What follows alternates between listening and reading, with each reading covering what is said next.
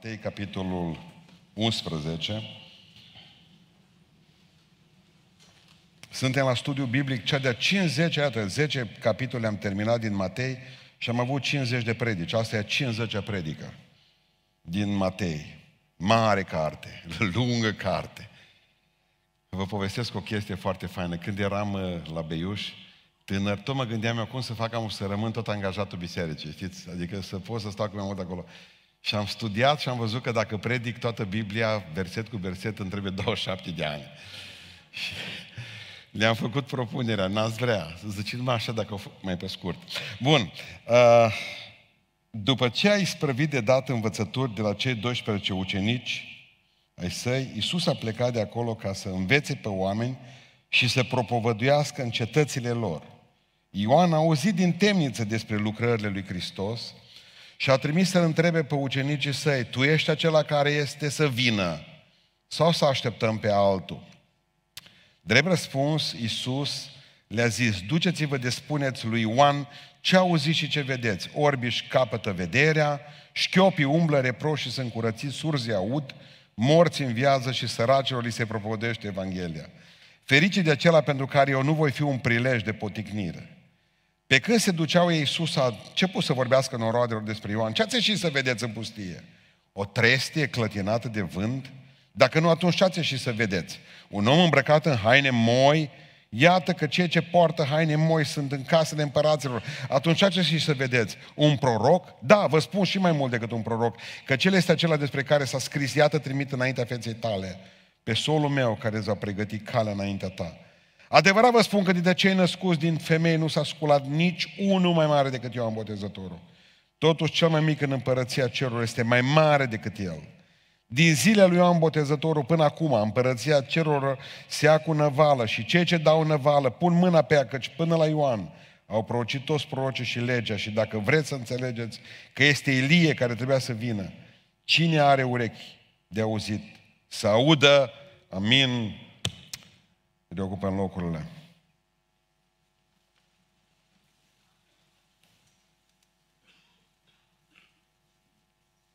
Nu mai știu în ce an, prin 1400 s-a făcut împărțirea Bibliei pe capitole. Știți că a fost scrisă fără semne de punctuație și fără capitole, cum avem noi astăzi și fără versete. Nouă ne spunea la școală că împărțirea Bibliei pe capitole și pe versete a fost făcută de un bărbat și care avea foarte mult de lucru, că era și predicator, un bun, fin cunoscător al cuvântului lui Dumnezeu. Omul ăla și când mergea pe cal, ă, avea hârtiile de la Biblie ca să poată să împartă ăsta. Și zice, povestea rectorul nostru, fratele Trandafir Sandru, de multe ori zicea că îi sărea, știți, ă, creionul, uitați, ce o sări creionul clar în ă, capitolul 11, pentru că versetul întâi, normal e din capitolul 10, ultimul verset, al capitolului 10 și normal capitolul 11 începe doar de la versetul 2. Bun. Dar dureros este versetul 3 și a trimis Ioan Botezătorul pe doi dintre ucenicii lor să întrebe despre Isus Hristos. Să-i spună Domnule așa, Tu ești Mesia sau să așteptăm pe altul? Sau să așteptăm pe altul? Ce se întâmplase? Ioan Botezătorul era în temnița Maherus, de lângă Marea Moartă. Un an și jumătate a stat în temnița lui Irod. Irod Antipa avea un frate, Filip. Filip se căsătorise cu una femeie ciudățică și cert este că Filip era mai mult plecat de acasă și până la urmă Ăsta a pus ochii pe cumnată sa, Irod Antipa, pe femeia asta ciudată. Și au hotărât până la urmă ca să divorțeze și au și făcut lucrul acesta să se căsătorească. Ioan Botezătorul n-aș suportat ideea acestei căsătorii totalmente nebiblice. Și s-a dus și a început să strige la împărat și a spus, ești o nenorocit. Și tu și femeia asta. Apropo, fac o paranteză, veți vedea câteva capitole mai încolo că femeia nu a uitat asta. Și până la urmă avea să-și piardă capul Ioan Botezătorul, nu unui dans. Dar asta e o altă poveste. Că cineva mă întreba odată cât valorează un sfânt. Depinde. El a valorat Sfântul ăsta, Ioan Botezătorul, cam un dans. Atât. Nu mult. Sfinții la ora actuală nu valorează foarte mult în ochii lumii acestea. Ei bine, Ioan era în temniță, descurajat, decepționat. Iisus nu se mișca cum a vrut el, auzea tot felul de, mai ales când ești închis, auzi tot felul de lucruri care se întâmplă afară, cu care nu ești de acord. Ioan Botezătorul deja trăia ce trăise Toma la Paști, îndoială. Și mai să întrebe, eu nu pot ieși afară, dar pleacă doi dintre ucenicii mei. El avea foarte mulți ucenici care au plecat după Isus Hristos. Chiar El le-a trimis. Gândiți-vă numai ce salt dureros de la iată mielul lui Dumnezeu care ridică păcatele lumii. La ziua aceasta fatală în care tu trimiți doi oameni să întrebi sigur ești tu mielul care ridică păcatele lumii? Sau să așteptăm pe cineva?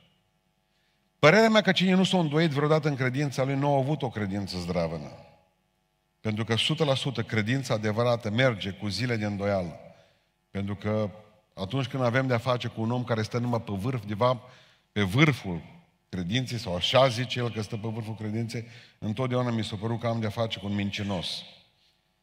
E bine, Iisus Hristos vine și spune, în momentul în care au auzit oamenii, bă, săracul Ioan, fiți atenți ce zice acolo în temniță, că nu mai are credință. Și Iisus Hristos, și primul lucru pe care îl vedem în seara aceasta, este lauda pe care Iisus Hristos o aduce lui Ioan. În momentul ăla, zice, pe când se duceau ei, Iisus a început să vorbească în norodele despre Ioan.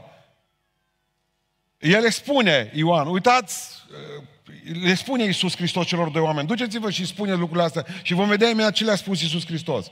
Dar norodele au zis, bă, noi n-am mai întâlnit nepocăit ca ăla, mă. Și Iisus Hristos îi sare și apărarea și începe să laude și spune în versetul 7, pe când se duceau ei, Iisus a început să vorbească norodelor despre Ioan. Ce ați ieșit voi să vedeți în pustie? O trestie clătinată de vânt?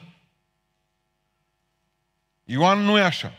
Ce înseamnă trestia clătinată de vânt? Ați văzut o grămadă, cei care ați copilărit pe la sate, țineți bine că în capetele satelor erau locuri în care era trestie. Cum bătea vântul?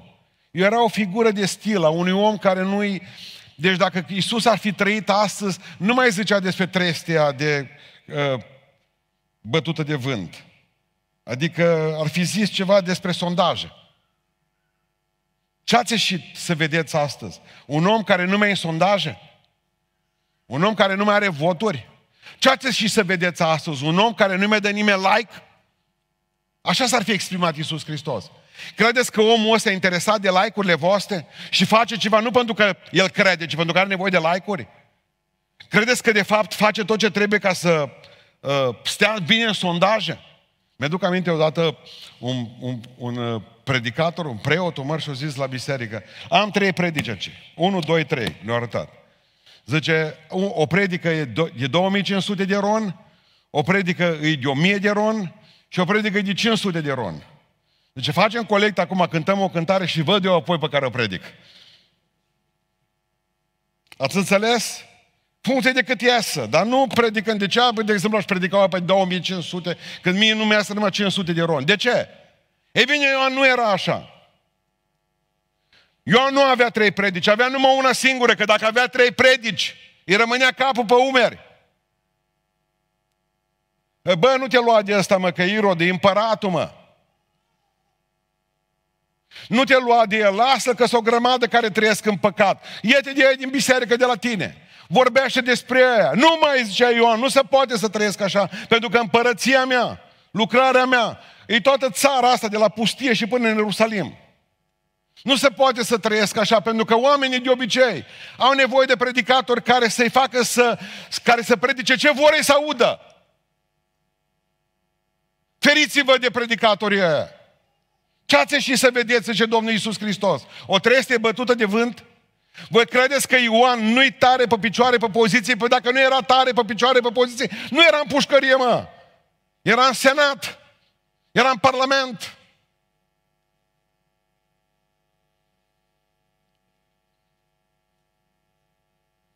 Nu, el a predicat ce oamenii trebuiau să audă, nu ce voiau să audă. Ce ați și să vedeți, zice Iisus. un om îmbrăcat în haine moi, zice că avea o, o mantie aspră de... Săraci nu aveau haine moi. Hainele moi erau pe bani atunci. Ați crezut că vine unul cu mașină tare, cu avion, cu nu știu mai ce, cu îmbrăcăminte, cu scumpă, cu tot ce are. Asta ați crezut? Ați crezut că asemenea predicator este Ioan care se uită la fața omului și automat îi scarpină pe bogați? Vă rog frumos, veniți pe primul rând aici.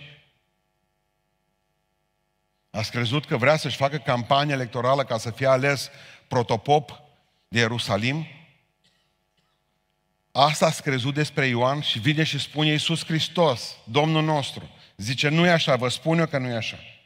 Nu este mai mare profet ca el născut vreodată din femeie. Păi să, te, să spună Iisus lucrurile astea?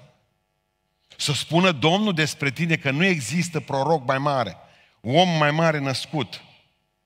Deși, zice Domnul Iisus Hristos, dă cu, cu puțină apă pe Ioan și zice, totuși, cel mai, cel mai mare din, împără, din, cel mai mic din împărăția cerului va fi mai mare ca el acolo. De ce?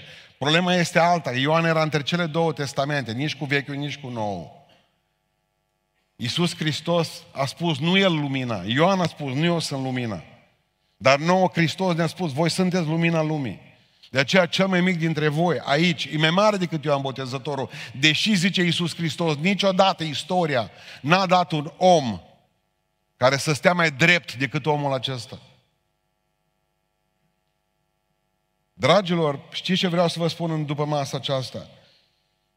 Că nu căutați niciodată laudele de la oameni. Căutați-le de la Dumnezeu. Nu contează ce zic oamenii despre voi, contează ce zice Dumnezeu.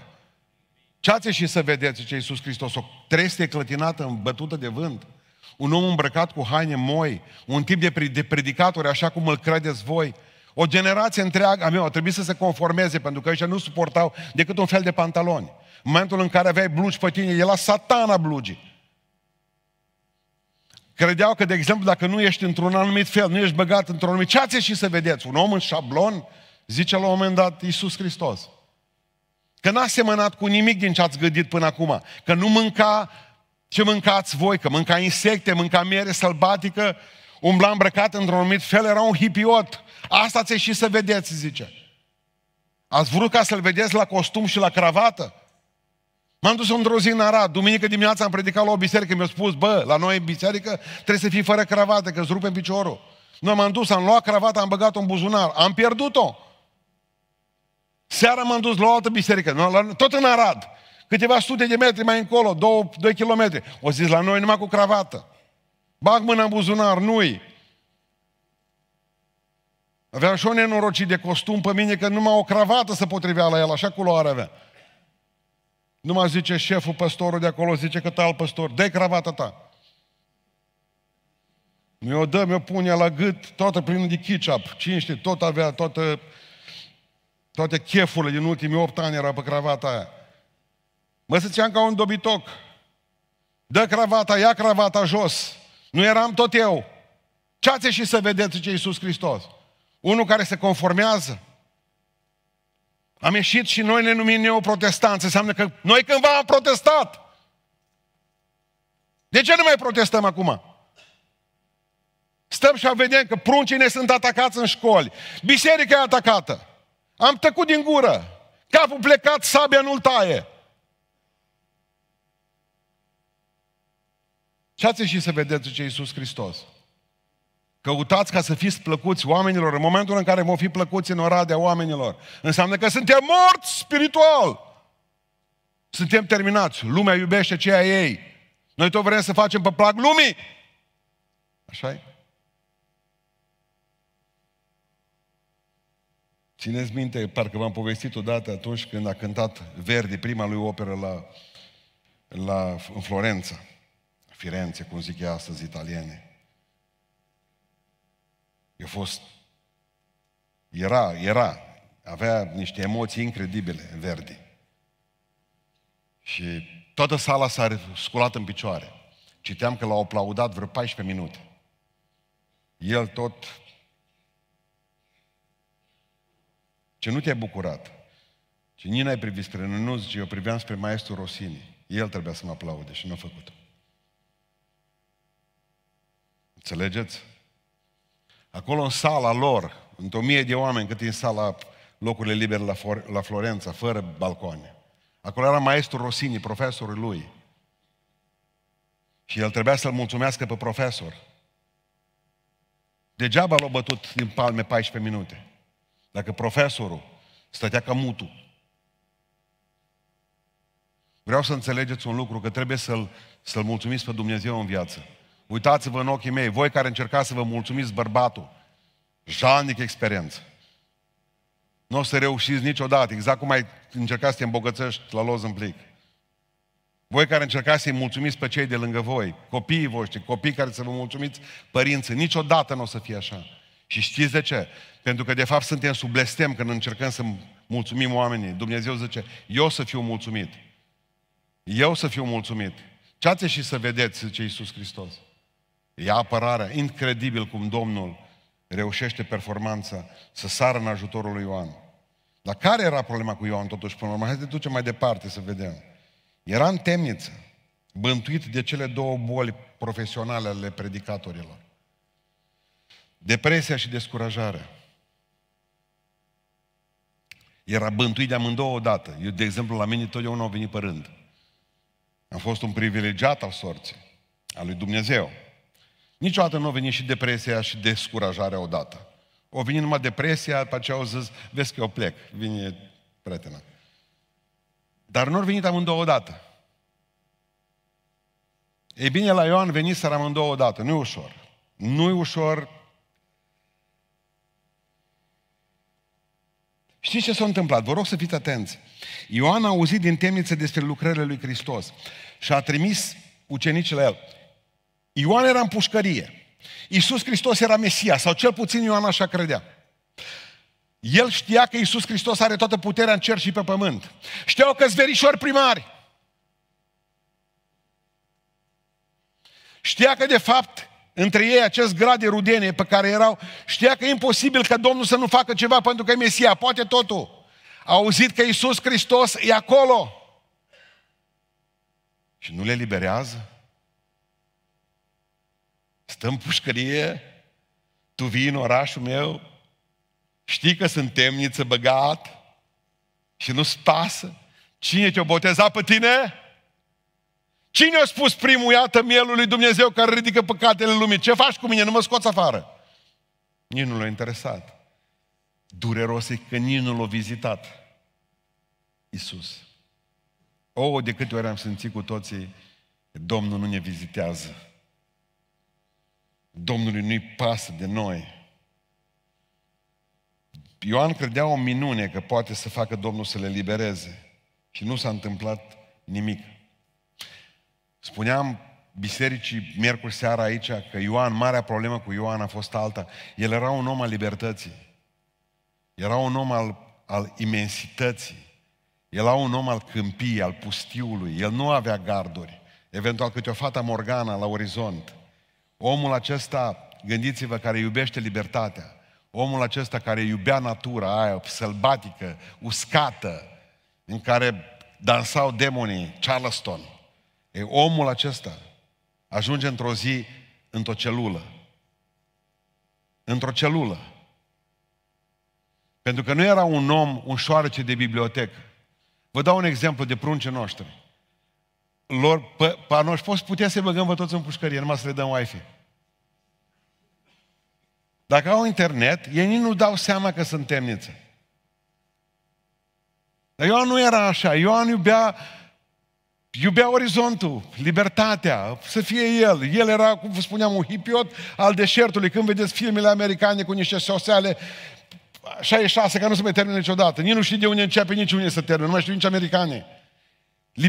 Libertatea aceea nu mai avea și dureros pentru un om care a vrut să fie liber și să trăiască liber, să fie închis dintr-o dată. Și a crezut că le liberează Hristos și nu s-a întâmplat asta. A fost dezamăgit de Dumnezeu, dezamăgit de Dumnezeu. Dar de ce a fost dezamăgit de Dumnezeu? Mă, nu mi-am, nu mi-am dat seama de asta. Nu au zic că Iisus Hristos face minuni? Ba da.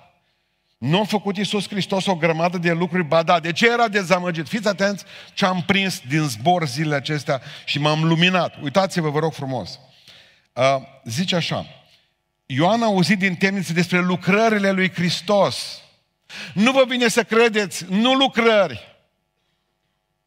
Ioan a fost dezamăgit, traducerea nu-i puternică, nu-i clară la noi în, în Cornilescu. În limba greacă spune, Ioan a auzit din temniță despre metodele lui Hristos.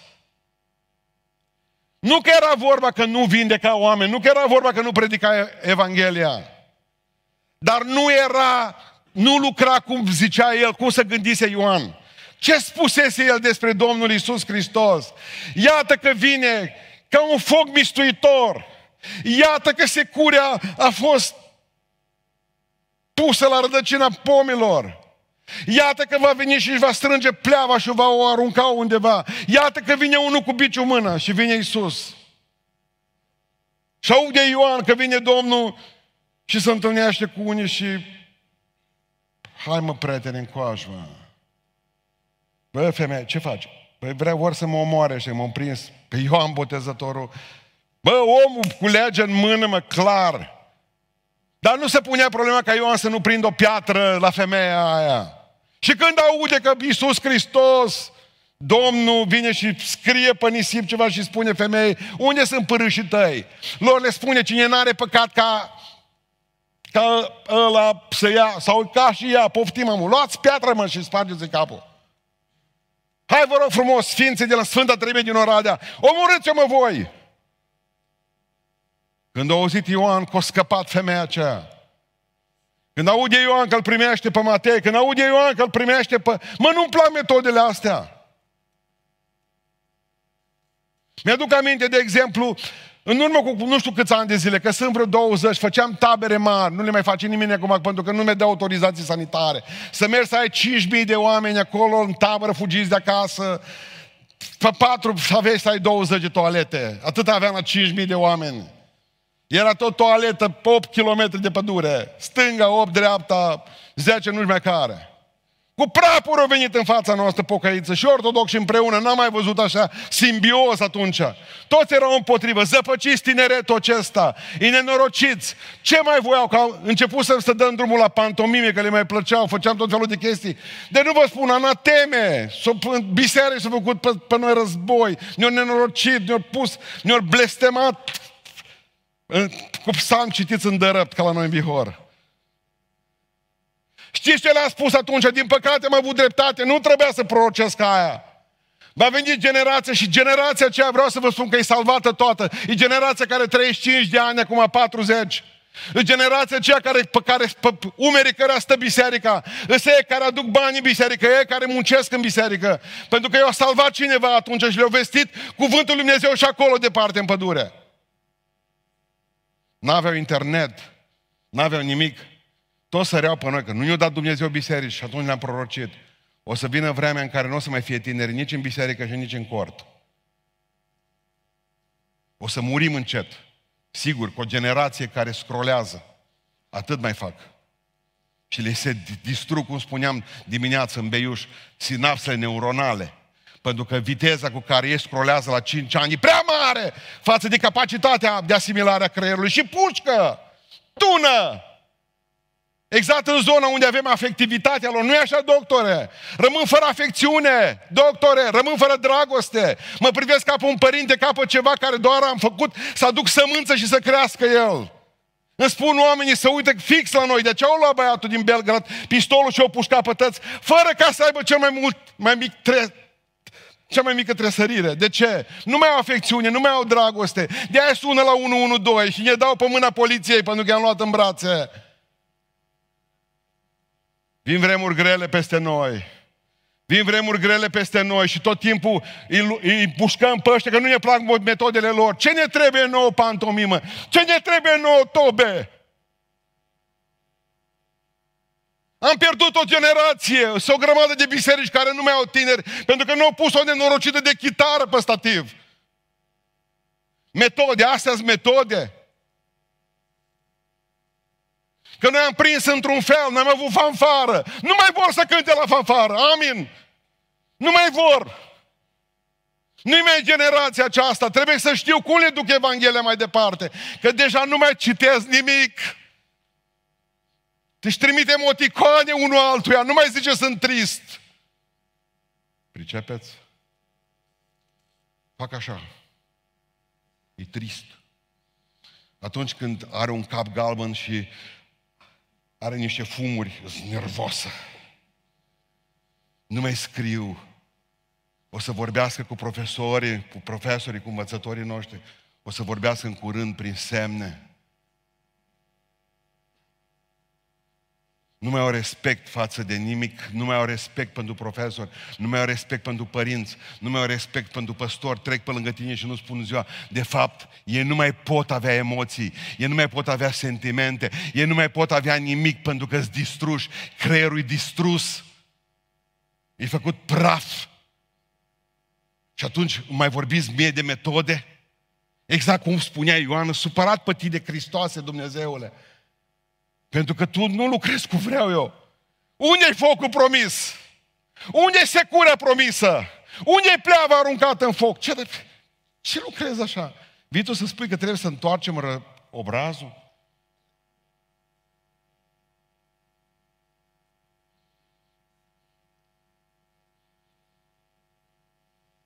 Să n-ai tu secure în mână ca păstor. Nu există sentiment mai fain decât să ții secure la brâu. Să știi că ești la învon și poți să-i ciomăgești, ciomăgești în dragoste pe ăștia, să le spargi capul în fiecare zi. Îți dau așa o sentiment, mai Gigi Beca le are când stă la, la birou. Deci să ajungi în locul acesta să nu poți da un, într-un antivorbitor de tău, să nu poți expedia câte un cartuș în cap la câte unul de ce cele mai frumoase și mai duioase lucruri într-o biserică pentru care merită să fii păstor este să vezi pe câte unul că vine umilit în fața comitetului și îl bate în bine pentru că s-o făcut nu știu prostie. Opriți-vă, zice Iisus, eu nu sunt așa. Eu nu sunt așa. Eu vreau să recuperez omul, voi vrea să-l împușcați. Eu nu sunt așa. Zice Ioan, s-ar putea să nu fii tu atunci. Vă rog să notați, nu-s metodele cum trebuie, S-ar putea ca tu să fii fals. Poate nu ești tu, dacă nu el. Vreau să vă spun ceva. Haideți să vedeți ce, ce, cum e răspuns Iisus. Fantastic. Versetul 4, versetul 5, e cum trece și vremea asta. Drept răspuns Iisus l-a zis, duceți-vă de spuneți lui Ioan ce auziți și ce vedeți.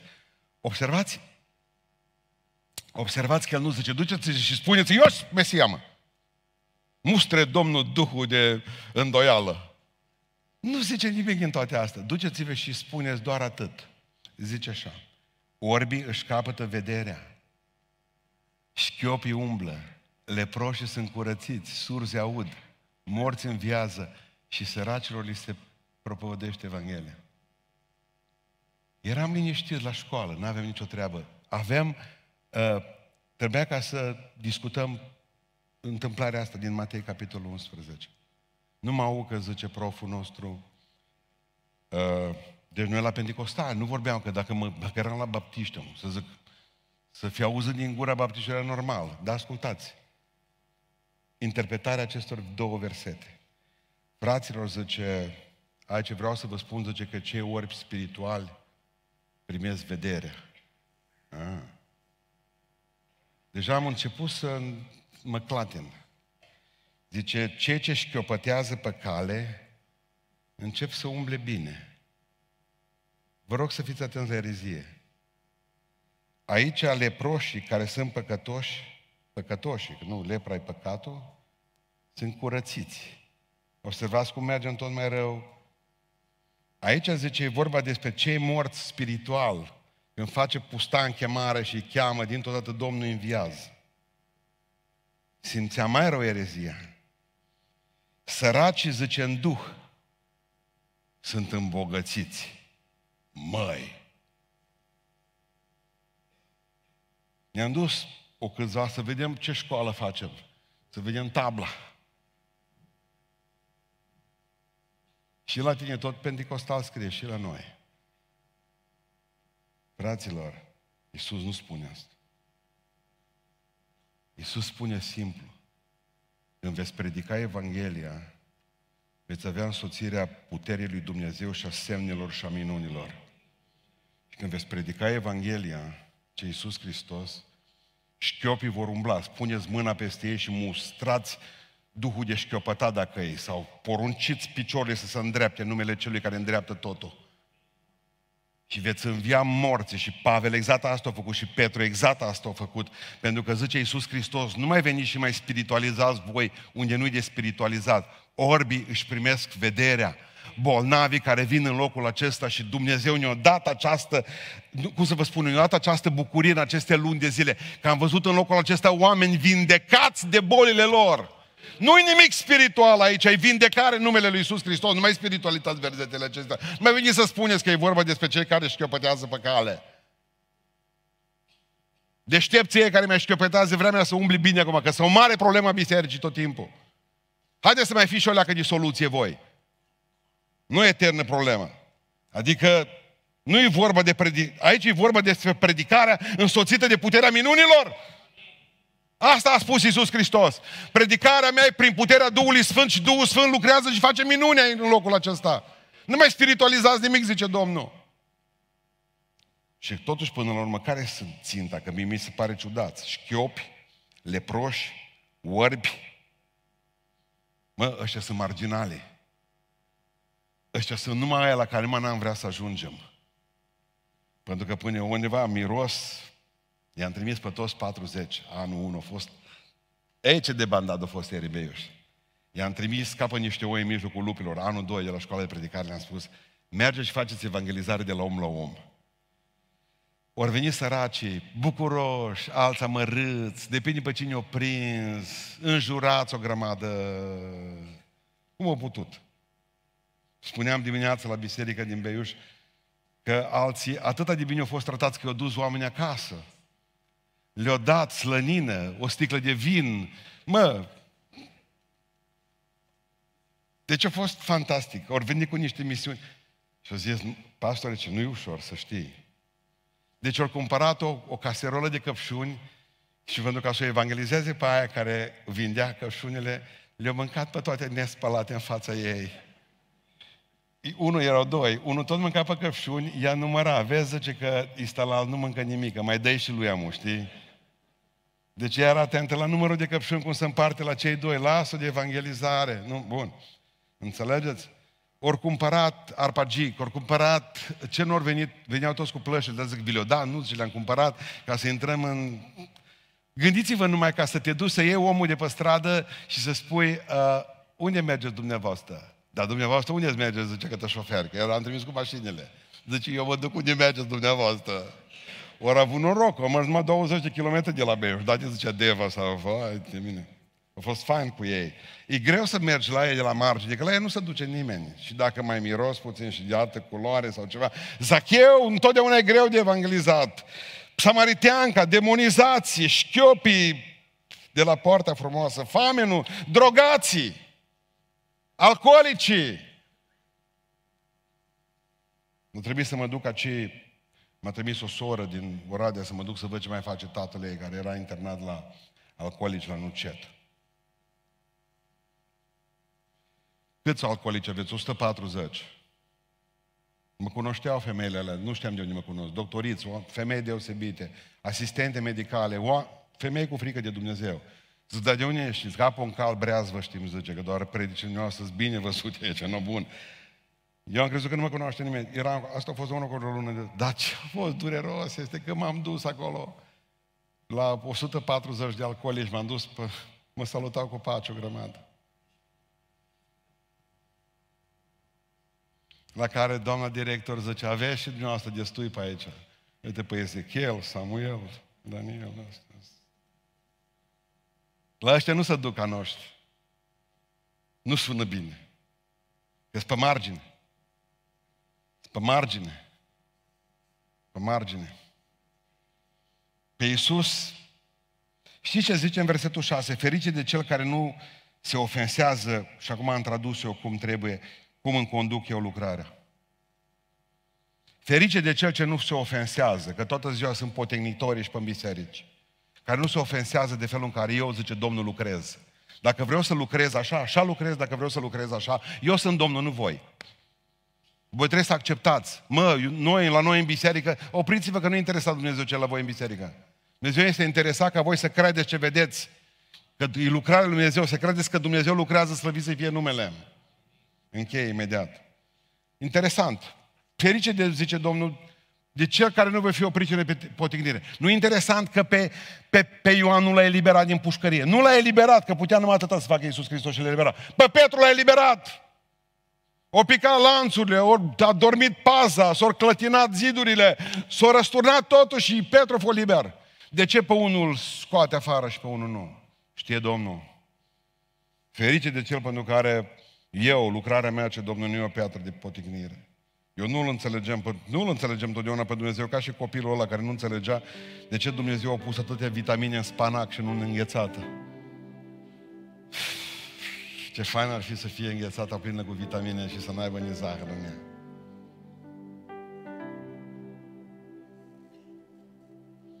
Cei care ați văzut, uh, mai țineți minte povestea uh, ăla cu, zice, cu Leu Aslam și cu Narnia.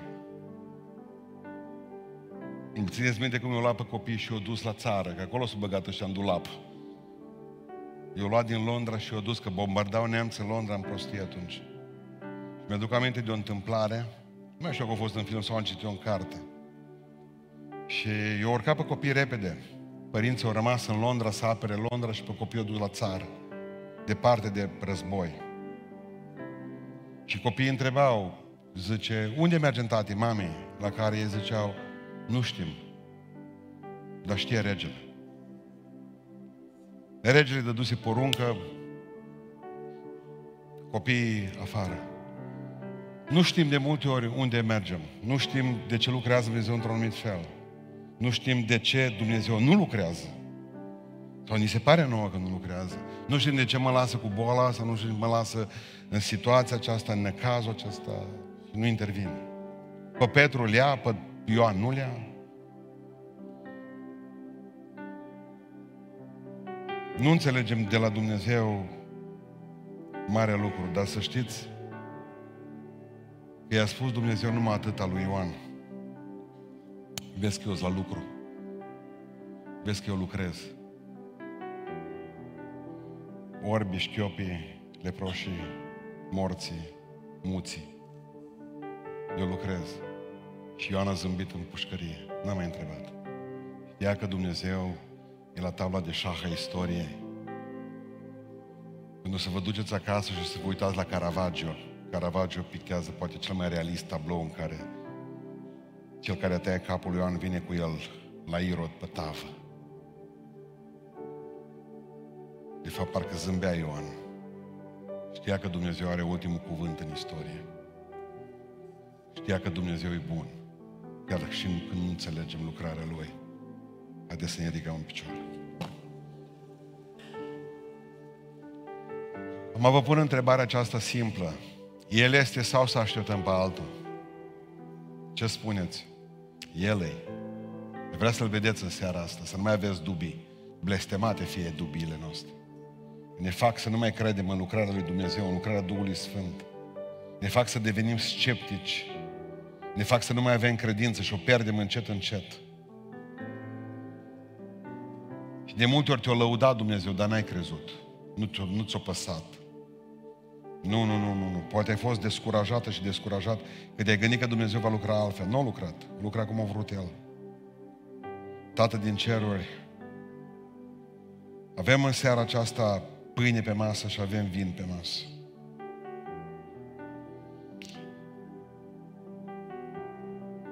Prin Duhul Tău ce Sfânt prefă pâine de pe masă, scump trupul Tău. Prin Duhul Tău ce Sfânt prefă vinul de pe masă, scump sângele Tău. Lucrează în chip tainic pe masa aceasta și lucrează în chip tainic pe mesele fraților și surorilor noastre, oriunde ar fi în clipa aceasta. Opriți într-o parcare de tir, opriți într-un pat de spital, opriți de viață într-o biserică de casă, în singurătatea unor familii pe care nu mai vizitează nimeni și nu mai au putere nici să meargă la biserică. Lucrează și acolo. În seara aceasta, Doamne Dumnezeule, ne vom duce cu sticluța de unde lemn printre oameni. Ia-ți halatul de medic, așa spuneau bătrânii noștri. Tu ești de gardă totdeauna. Vină și în seara aceasta și adu vindecarea trupului, sufletului, Duhului și minții. Binecuvintează, Doamne, pe cei ce se vor împărtăși, binecuvintează și pe cei ce nu se vor împărtăși. Și ajută-ne, Doamne, ca să înțelegem că nimeni nu-i pregătit ca să se împărtășească. Dar venim prin, pe baza meritelor tale, a prezenței tale, a păcii tale. Venim în locul acesta, Tată Ceresc, și îți cerem, fii cu noi. Tu ai dorit mult să mănânci Paștele acestea cu noi. Vrem să dorim și noi să fim cu tine la masă. Deci de aceea, Doamne, credem că nicio vrednicie în noi, toată vrednicia este în Tine. Niciun merit în noi. Tot meritul e Tău, Tată Ceresc. Te rog binecuvintează slujitorii din seara aceasta, păstorii, diaconii, oamenii de ordine care ne vom sluji ca să putem administra și cină. Mulțumim, Doamne, pentru toate. Vindecă, Doamne. Ridică, Doamne. Curățește, Doamne. Adu pacea Ta și binecuvântarea Ta.